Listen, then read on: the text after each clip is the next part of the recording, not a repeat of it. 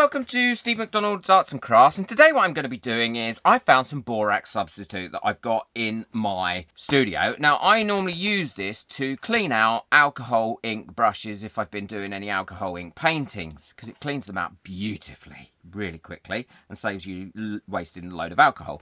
But I, I just can't resist knowing what happens if I put it in resin. Hopefully it's not going to explode. Hopefully it's not going to burn my studio down or do anything really silly, but we will see. Don't forget, to hit that subscribe button so you don't miss out on any of my future videos and experiments. And ring that little bell. Ring that little bell. I hope you're as keen as I am to see what's going to happen. I bet it'll be like, damn squib. But there, we'll see. I've got all my epoxy resin mixed up and I'm used, just using a art resin by Resin Colour here and it's a great resin. I'll link it in the description below. And what I'm going to do is I'm going to put the borax into the cup and I'm using, well, about one and three quarters of these scoops that come with a borax substitute in with the resin. And I'm giving that a bit of a mix in. Now, it's, it's not actually reacting in any way at this stage or getting hot or anything. It's just mixing in like any powder would mix in. And what I'm going to do is I'm going to divide that into cups so I can add glitter, colour, and different bits and pieces to it to test it. If you'd like to buy me a coffee just to say thank you for any of my experiments and get your name on the coffee board for next month, then the link is in the description. Everything that I receive in the Buy Me a Coffee gets reinvested back into my videos. So now I'm doing a test with just the plain, with nothing mixed in it, into this mould. Quick thank you to all my members whose names are coming up now. There's lots of perks for being a member, and there's a live coming up this weekend as well for members. Check it out, links in the description. Now, the next one I'm adding some mica powder to. This is a bronze mica powder, and I'm just giving that a mix in.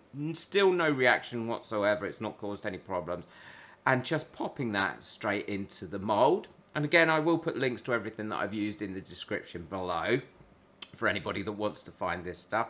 This one is a transparent pigment and I've used red and it's come out quite a pinky colour. Actually, I think it is probably more of a pinky one. And now the last one is glitter because I've got to test it with glitter. So I mix the glitter in and the resin is quite thick so this glitter shouldn't really sink too much.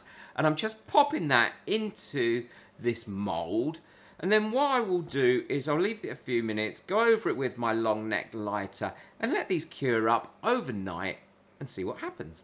These have all cured now, and the borax didn't have any negative reaction to the resin, which is quite good. Now, the one I'm going to do first is the one where I didn't add any colour to it whatsoever, and that's this one. And the reason is I want to actually see what it looks like. And a really, really nice effect. It's given it, I don't know how you would describe that effect, really.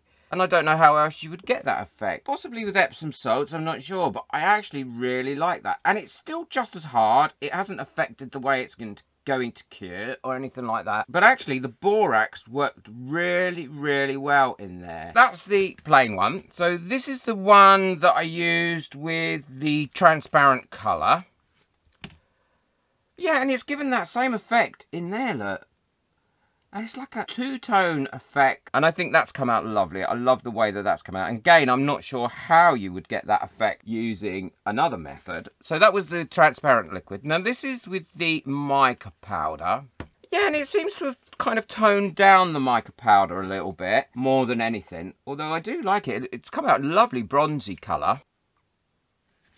You can see the glitter in it without any doubt at all. Certainly in the back. And again, it's given that white look to it. I just think it's a great technique to use. It wasn't didn't cause any problems. I thought it might bubble up and cause lots of bubbles, but in fact it hasn't done.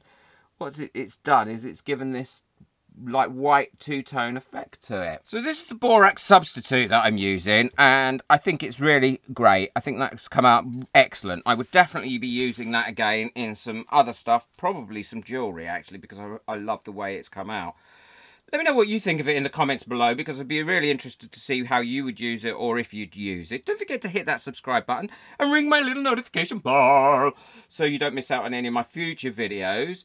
And if you'd like to buy me a coffee just to say thank you for all my experiments and to help keep this channel going, that's really appreciated. I'm currently saving for a 3D printer. I'm about three quarters of the way there now. And the link for everything is in the description. And also don't forget, to check out my other channel as well because I do lots of art and crafty stuff on there. I've got a tie-dye video coming up on there soon. Be sure to check out the video that's coming up on the screen now, and I will link a video on one of my other experiments. Take care, enjoy your resin. Bye.